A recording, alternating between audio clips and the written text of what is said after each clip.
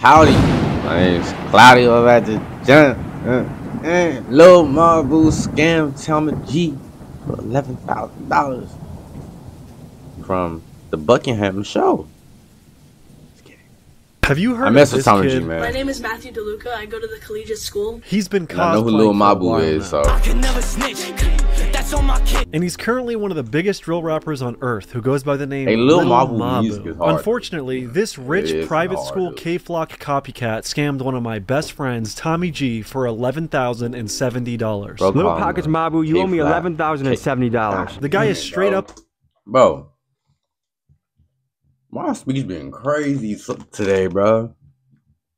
I need to stop eating these uh these candies, bro. It's messing up my. a speech. liar and a thief. But before we get into the exact details of how this guy scammed Tommy G, I want to give you the backstory of this spineless little rat. Sit back, relax, grab some popcorn, and enjoy the on, history lesson. Lil rat. Mabu, real name Matthew DeLuca, grew up in a five bedroom, five bath, 3,327 square foot condo in one of the Damn. richest areas of New York City. In his free time, he would escape to the Hamptons, where he would stay in his parents' 6,182 square foot mansion. The combined value of the properties is about By 12 itself? million dollars. So they, bro. So they, he had mansions as a kid, bro. So what, what made him go to the streets? And as it turns out, his father, Peter DeLuca, is just as big of a scamming douchebag as he is. In 1987, Lil Mabu's father married a woman named Jane, who he had a 13 month old child with. One day she was holding the child when out of nowhere, her townhome collapsed, crushing Jane and killing her child in her arms. In the hospital, she got a bunch of blood transfusions that ended up giving her hepatitis, and she had to undergo 13 surgeries to repair her broken body. She eventually received a Yo. $4 million settlement for her losses and injuries during the collapse of her home. And while all this was going on on, Lil Mabu's father was hard at work, doing what the DeLucas do. Jane's husband, Peter, was manipulating her finances in a scheme to divorce her and leave her in physical, emotional, and financial ruin. He sued her for Wait. the finances and was hard at work, doing what the DeLucas do. Jane's husband, Peter, was manipulating her finances in a scheme to divorce her and leave her in physical, emotional, and financial ruin. He sued her for so divorce in this- this 1996, and she was bullied into a settlement in 1998 that left her with the house and $1 million, with her husband holding on to the rest of the approximately $10 million estate. Obviously, She only got a $1 fucked million? up situation, but it makes you wonder what kind of connections Lil Mabu's father has to pull off such a scheme. Now, we all know that Mabu's dad is a funeral director that from time to time gets in fist fights at his funeral home with people that are mourning. Bro, but get out. Mabu, Bro, nah. Mabu pops, bro, had to been in the streets before he got to where he at, bro. Cause to have a fight at a funeral home, bro, is crazy. That shit is crazy. He's also a lawyer. Pretty wild stuff right there, but that's enough about his dad. As I said before, Lil Mabu is rich, and he just finished his senior year at the Collegiate School, which is a 400 year old Manhattan private school that costs $60,000 a year. And nowadays, he's a freshman in college, So, scamming even go to YouTubers for over $10,000. school in the hood, And you might be wondering, how did this all So go made him turn well, let's get into it. On April 3rd, Lil Mabu contacted Tommy G on Instagram about his newly released song, Big Dog Shit, saying, If you want to make the Big Dog Shit your theme song on YouTube, I can whitelist your channel to monetize on it. To which Tommy responds, Ooh, that would be badass. Mabu answers back, Bet, I got you. And Tommy goes ahead with their agreement. Hey, Lil Mabu, bro, whitelist my channel, bro. what you mean? You could whitelist? What the hell is that, bro? I ain't never heard. Tommy no decided to put that song in a video that he knew That's- would be one of his biggest.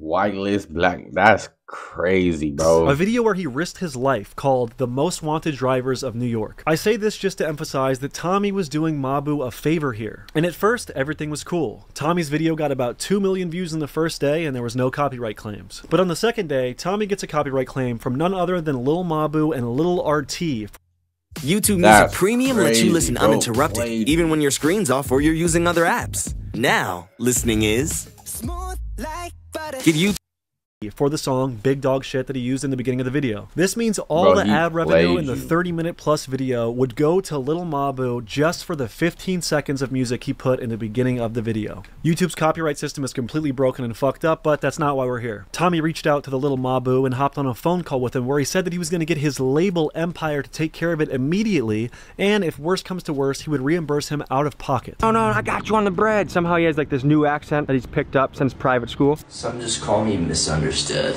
But some time passes and it still isn't clear that Lil Mabu has handled the copyright claim, so Tommy G reaches out with this message. Mabu, just a heads up, at the moment it's still your song that's getting claimed. Does RT have a piece of the song? I put your song in on good faith, so I'm looking for your help in getting this resolved. I'm an independent that works my ass off, so there's no way a label is going to get eight to ten thousand dollars today for 15 seconds of a song and a 30 minute video. Please keep me posted. Mabu then responds with a screenshot of a text exchange from his manager saying, Okay, so Create is publishing rights on the song over Lil RT. Jimmy reached out and told them we whitelisted it at the direction of Mabu and that they need to drop their claim ASAP, but are waiting to hear back at the moment. Tommy replied, Can you send me a text when it's official slash done? To which Lil Mabu did not respond. The next day, Tommy said, Just a heads up, still not cleared. Tommy, who is obviously fed up that some nerd is stealing his money on one of his biggest videos ever, manually removes the song from his video using YouTube's trim function, essentially restoring its monetization. He then reaches Mm, out to Lil Little bread back. Mabu's manager saying, I just cut it from the video. I'm not confident that CMG will act on it quickly. I did the math and it's already cost me $11,070. That's fucking crazy. And still, Tommy got no response. This is a chart of Tommy's revenue on YouTube, showing the first day he was making money and the second day he made literally zero dollars. And then after that, on the third day, he removed the song and he was back to making money. But the money from the second day all went to Little Mabu and Little RT. At this point, Tommy wants That's to be crazy, reimbursed bro. from that second day of revenue that I'll was stolen hot, by bro. I'll be like, bro, we gotta hop in the ring. You too, RT. You know what I'm saying? I got a little, I got a little bro for you too. You know what I'm saying, bro? We gotta scrap, Bro, bro. and his bullshit copyright claim. That's so crazy. five days later, Tommy reaches out to Little Mabu's manager again, saying, "What are our options at this point for recouping what's been lost? Are we able to bill CMG or Empire for a marketing expense?" The manager responds, "Empire said it's out their hands. They sent an email to them to resolve this matter, but he said Nah, if any action you, is to be taken, it needs to go towards CMG. He said they already have cases that they are dealing with on the same matter. Saturday, April Damn, so he gonna tell him, bro, we already dealing with other cases, bro. You gonna have to wait a couple of decades, bro, for me for us to get to you, bro, unless you just want to forget about it. You know what I'm saying? That's crazy, bro. 20th, Tommy G reaches out to Lil run the Mabu with once everybody more and CMG, says, bro. I put your song in the video Run in it good up, faith it because you assured Yeah, me it would be cleared. 11 grand might not be a lot of money to you, but it's a lot of money to me. When I raised this concern with you, you delegated me to your manager and did not even find it important enough to respond to me. Is this how you do business? Hours later at 2:30 in the morning, Little Mabu responded, "Almost got kicked out of school this week. LOL. They got me on RICO of conduct violations. No, my team has been working on trying to find a solution for this. Planned on touching bases with you after weekend, and 11k is money to me also. The smug little prick isn't even saying sorry. That's- He's having this fake little fairy tale RICO of conduct violations in his dorm give room. Tommy This his guy money back, cosplays bro. like a gangster over text message. What the hell? Oh my God, no way. Tommy responds, I hear you, amigo. That's serious shit. I understand life gets busy. I just wanted to make sure this issue has your attention. Let's touch base this week. Tommy waited four days and still no response, so we texted him again. Mabu, I know you have good intentions and the situation was an accident. How about Hey, this? low we meet in the middle and Tommy call G, it a- bro, you being a little too nice, bro. You better, you better show your chest. You know what I'm saying? You better, hey, hey little Nick. you know what I'm saying? Don't say that word though. You feel me?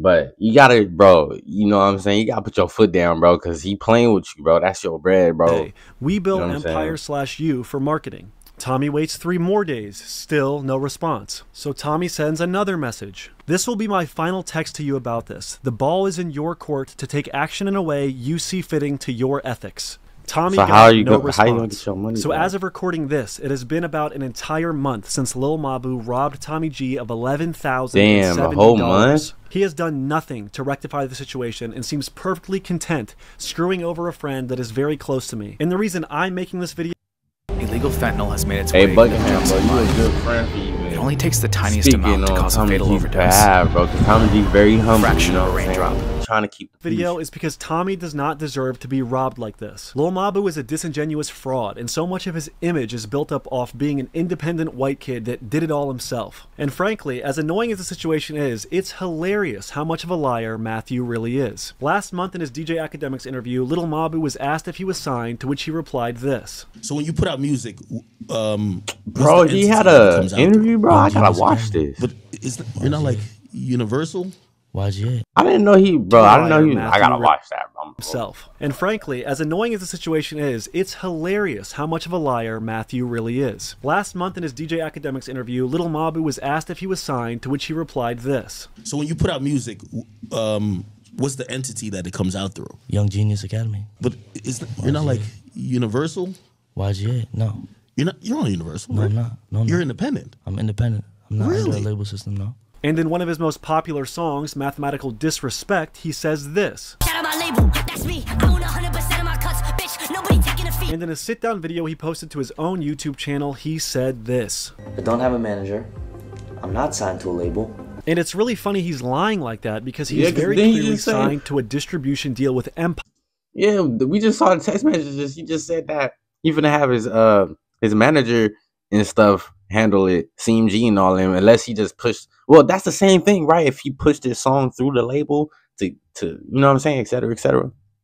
Bro, you have a label and a manager, bro. Empire. And not only does he have a manager, but he has a team of over 14 people that he had to talk to when this whole copyright claim situation all went down. Then he sent me a screenshot of a group chat called Empire with 14 people. That doesn't seem very independent to me. But surprisingly, this scamming situation isn't Tommy G Oh, or Tommy G made a first video time interacting with Lil Mabu. In August of 2021, Lil Mabu was trying to blow up on the internet, and he was having his Instagram meme page friends reach out to a bunch of YouTubers trying to pay them $80 to put his song "King of the World" in their videos. I ended up saying Bro, no because I thought the song was I'm absolutely sitting here thinking like, bro, what the thumbnail of this video gonna be? I'm sitting here thinking about right now, like, damn. Cause I don't, I don't know if there's any videos of Tommy G and Lil Mabu together. absolutely shit. But Tommy ended up putting the song in one of his videos we did together called Hella Sus Rapping in the Hood Part 7. Here you can see way back in 2021, Tommy G linking a Lil Mabu song in his description. I'm bringing this up because it's a pretty good symbolization of how Mabu got to the top of the rap game. He's a rich kid who bought his way into the industry with his dad's money and an elementary understanding of marketing. He's not that original, he's not some genius, he's literally 6'9 with a millionaire daddy. Don't get swayed. Damn. Stay ten toes and focus, and just be calculated. Mm. Be Is that- very that right there? calculated And be intentional with everything you do. I want to ask you this, Matthew Peter DeLuca. Is scamming Tommy G someone Bro, who just- did you a I ain't gonna lie, bro. Just call you out by your full government name, Mabu. Get in the ring, bro. Adin Ross, bro. Set it up. Get Buckingham, Tommy G, Lil Mabu, Lil RT in the ring, bro. Yes, Lil RT is getting hands too, bro. I don't care, bro. Cause if bro, if he was re- bro, he gotta run the fade too, bro. Everybody running the fade. I don't care. favor, staying 10 toes down by your standards? Not to mention, you personally promised Tommy you reimburse him out of Yeah, pocket that's- if that's anything went crazy, wrong bro. in the That's copyright department. Look at how Lil Mabu scoffs at the idea of getting paid $15,000 I gotta set for my a single background show. like that. What do you bro. I get for, for a show these days? Because- Fifteen thousand. Hmm? Fifteen. Bro, what?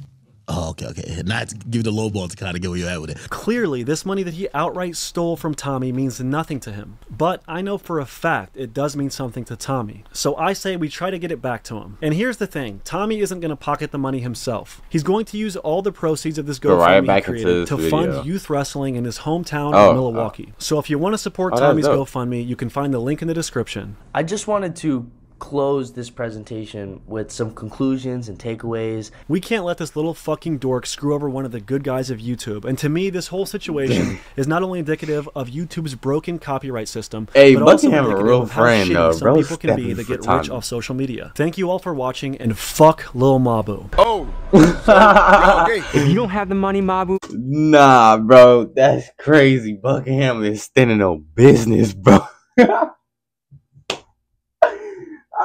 Bro, hey Tommy G, bro, you gotta give Buckingham a big hug, bro, when you see him. You know what I'm saying? Cause bro's bro's standing on business for you, bro. Ten toes, bro, and I respect it. You know what I'm saying?